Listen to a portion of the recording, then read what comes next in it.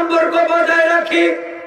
যদিও তা দূরবর্তী হয়, আমার যেন আত্মীয়তার সম্পর্ক নষ্ট না করি, আত্মীয়তার সম্পর্ক ধ্বংস না করি, যদিও সে দূরবর্তী হয়, যদিও সে অনেক দূরের হয়, সে যেই হোক না কেন চাচাতো হোক মামাতো হোক খালাতো হোক, আল্লাহর নবীর কাছে এক সাহাবি আসলেন, আসার পরে বললেন, হে আল্লাহর আমার মা আপনাকে গালি দেয়। আমি কি আমার মাকে ত্যাগ করব?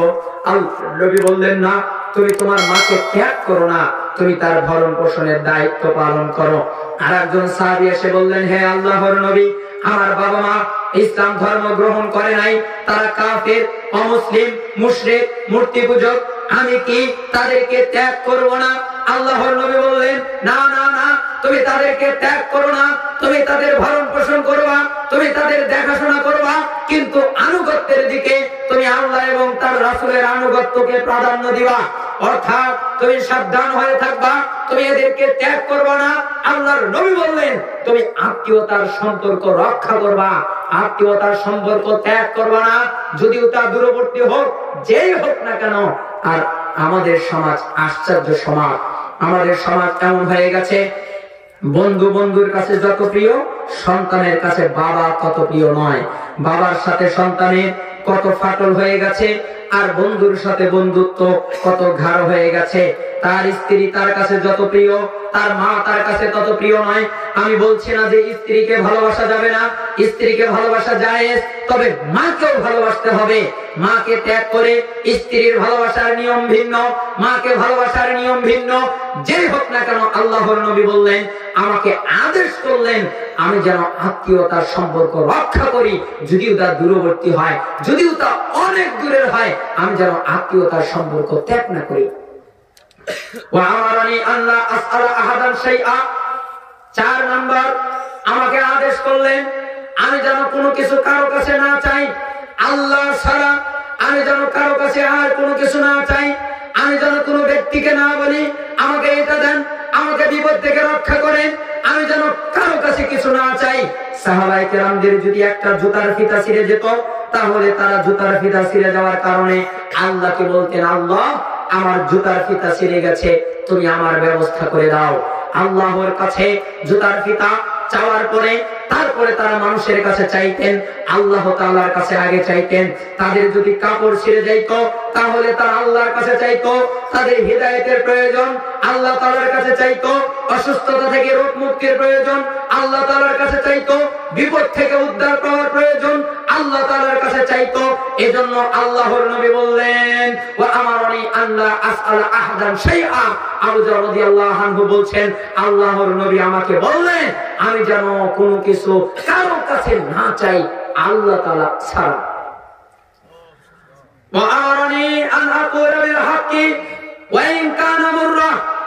আর শোনো, আমি যেন হক বলতে লজ্জাবোধ না করি, অর্থাৎ আমি যেন হক বলি, যদিও তা তিতা লাগে।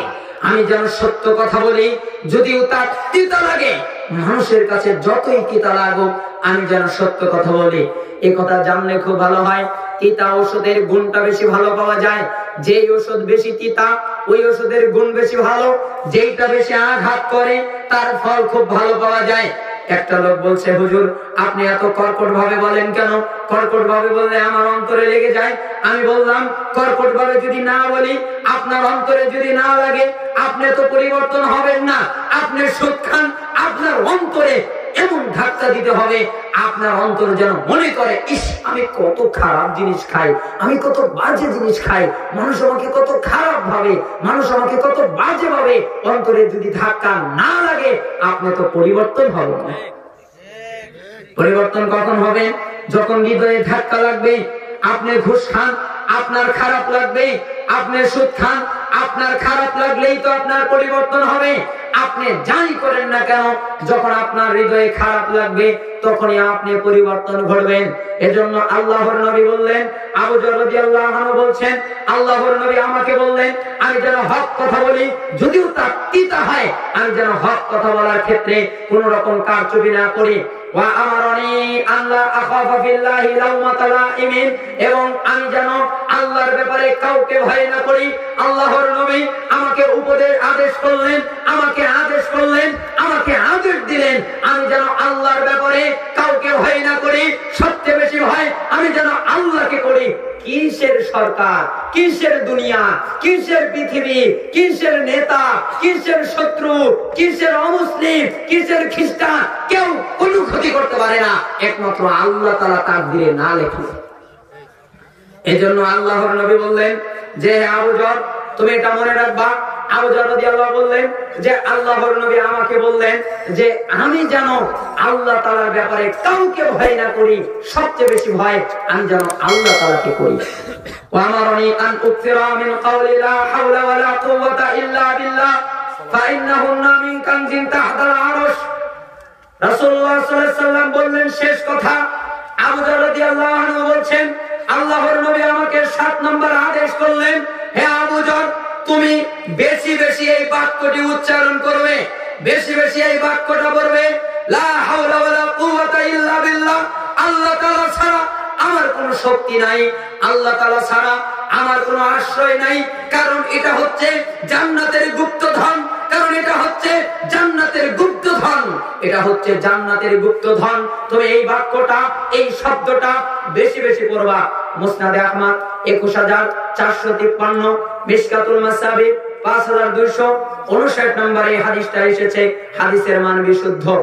যদিও বা আমি উপদেশ নিয়ে আলোচনা করতে চেয়েছিলাম, সময়ের স্বল্পতার কারণে, এখানে যেহেতু আমার শ্রদ্ধেয় সায়ক আমার টিচার, আমার সম্মানীয় ব্যক্তিত্ব এখানে এসেছেন, আমি তাকে বসিয়ে রেখে আর কথা বলতে চাই না বেদবি মনে করছি, আল্লাহ তাআলা আমাকে ক্ষমা করুন, তার সাথে আপনাদের সবাইকে ক্ষমা করুন। পাঁচটা সাতটা কথা এর আগে কয়েকটি হাদিস বলছি, মনে রাখবেন, পাঁচটি জিনিসের আগে পাঁচটা জিনিসের গুরুত্ব দেবেন। এক নম্বর গুরুত্ব দেবেন, বার্ধক্যের আগে, বুড়ো হয়ে যাওয়ার আগে যৌবনকে, অসুস্থ হয়ে যাওয়ার আগে সুস্থতাকে, দরিদ্র হয়ে যাওয়ার আগে সচ্ছলতাকে, এরপরে ব্যস্ত হয়ে যাওয়ার আগে সময়টাকে, মৃত্যুর আগে জীবনটাকে, এটা খুব ভালো করে মনে রাখবেন। আবার কেয়ামতের দিন পাঁচটি প্রশ্ন করা হবে। আপনার বয়স কোন কাজে অতিবাহিত হয়েছে? আপনার যৌবন কাল কীভাবে অতিবাহিত হয়েছে? আপনার সম্পদ কোন কাজে ব্যয় হয়েছে? আপনার সম্পদ কোথায় থেকে আপনি উপার্জন করেছেন? কোন কাজে ব্যয় হয়েছে? এবং আপনি যে ইলম অর্জন করেছেন সেই অনুযায়ী আমল করবেন কিনা, এগুলো মনে রাখবেন। এই শেষ বাক্যে আবুজরকে আজ সাতটা আদেশ করেছেন, এটা মনে রাখবেন। এক নম্বরে মনে রাখবেন, মিসকিনদের কাছাকাছি থাকবেন, তাদেরকে গরিবদের সাহায্য সহযোগিতা করবেন। এরপরে মনে রাখবেন, আপনি কখনোই আপনার থেকে উপরের স্তরের কারও দিকে তাকাবেন না। আপনি সবসময় আপনার চেয়ে নিচে স্তরে যে রয়েছে, তার দিকে আপনি তাকাবেন। তিন নাম্বার আপনি আত্মীয়তার সম্পর্ক রক্ষা করবেন। যদিও সে দূরবর্তী হয়, সেও যদি আপনাকে ত্যাগ করে, আপনি তাকে ত্যাগ করবেন না। চার নাম্বার, আপনি কোনো কিছু কারও কাছে চাবেন না, একমাত্র আল্লাহ তালার কাছে চাবেন। যে বিষয়গুলো বৈধ, সেগুলোর কথা আলাদা। পাঁচ নাম্বার, আপনি ভালো করে মনে রাখবেন, আপনি কখনোই হক কথাকে বন্ধ করবেন না। হক কথা বলবেন, সত্য কথা বলবেন যে কোনো পরিস্থিতিতে যে কোনো জায়গায়, যদিও তা মানুষের কাছে তিতা লাগে। ছয় নাম্বার, আপনি আল্লাহ তালার ব্যাপারে কাউকে ভয় করবেন না। সবচেয়ে বেশি ভয় করবেন আল্লাহ তালাকে সাত নাম্বার ইল্লা এই বাক্যটি বেশি বেশি উচ্চারণ করবেন। আল্লাহ তালা আমাদেরকে এই উপদেশ সঠিকভাবে বুঝার, আমল করার তৌফিক দান করুন। আমি ছোট মানুষ, কোরআন সুন্না থেকে চেষ্টা করেছি, মাত্র আমার কোনো ইলেম নেই। আল্লাহ তালা যা দান করেছেন তাছাড়া তো যাই হোক, এই অল্প সময়ে যদি আমার কোনো কথায় আপনারা ব্যথিত হয়ে থাকেন, ক্ষমা সুন্দর দৃষ্টিতে দেখবেন। আর যা আমল করার আমল করবেন, আমার জন্য দোয়া করবেন। আল্লাহ তালা যেন আমাকে জাহান্নাম থেকে রক্ষা করেন এবং আমাকে যেন সিরাতুল মুস্তাকিমের পথ অনুসরণ, অনুকরণ করার তৌফিক দান করেন। এবং আমার শ্রদ্ধেয় শায়েক ডক্টর ইমাম হুসাইন উনি আপনাদের সামনে কথা বলবেন, আপনারা ধৈর্য সহকারে তার কথা শুনবেন। আমার বাংলাদেশে কয়েকজন ভালোবাসার মানুষ, যাদেরকে আল্লাহর জন্য ভালোবাসি, যেহেতু সামনাসামনি বলা হাদিসে নিষেধ আছে, তার ভিতরে তিনি একজন। আপনারা তার সাথে বেয়াদবি করবেন না, কেউ উঠে যাবেন না, শেষ পর্যন্ত থাকবেন। আল্লাহ তাআলা আপনাদের সেই তৌফিক দান করুন। এই দাওয়া দাবি রেখে আমি এখানে আমার আলোচনা শেষ করছি আলহামদুলিল্লাহ রবিল আলমিন আসসালামু আলাইকুম রহমতুল্লাহ